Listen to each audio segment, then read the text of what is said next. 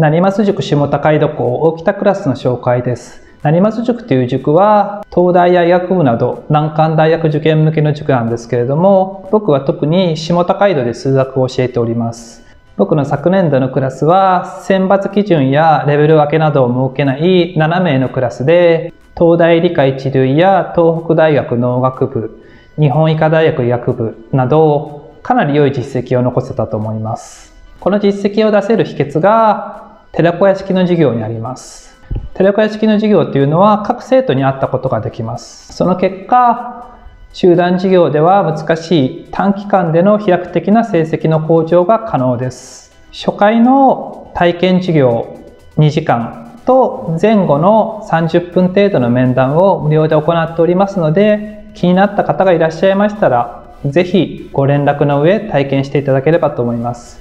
連絡先はこちらです。ではよろしくお願いいたします。